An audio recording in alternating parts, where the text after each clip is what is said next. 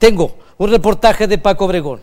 Supuestos líderes coartaron la libertad de expresión, violaron derechos de los ciudadanos y escandalizaron en la vía pública.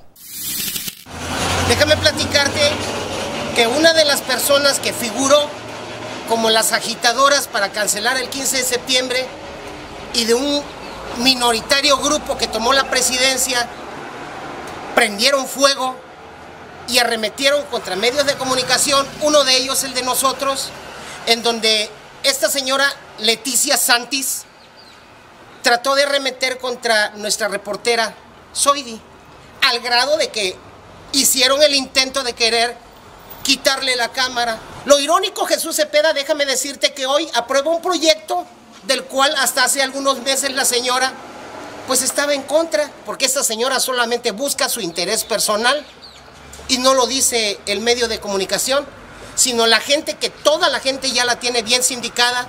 ¿Quién es Leti Santis? Vamos para que vean, veamos quién es Leti Santis.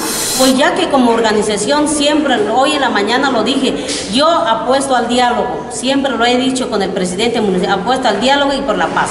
Nosotros no hemos querido hacer bloqueos, no hemos querido, porque sabemos que afectamos a terceras partes. En vez de que nosotros hagamos la violencia, ellos vinieron a hacer la violencia. Y yo siempre sostengo la paz con los compañeros. Yo creo que la presidencia municipal nunca debe de estar cerrada y jamás me voy a dejar vencer por el presidente. Vamos a seguir estando acá. Esta señora que tomó el palacio, esta señora que estaba en contra de Tito Albores, ahora resulta que está defendiendo, yo creo, pues no quedarse sin comer otros tres años. Regresamos al estudio contigo. Pues así las cosas.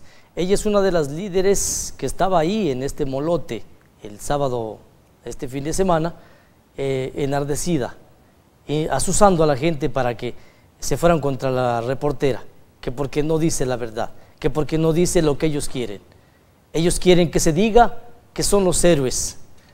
Aquí nuestra obligación es decir lo que pasa decir la verdad. Y en esta, en esta ocasión, fíjese, esto fue lo que ocurrió.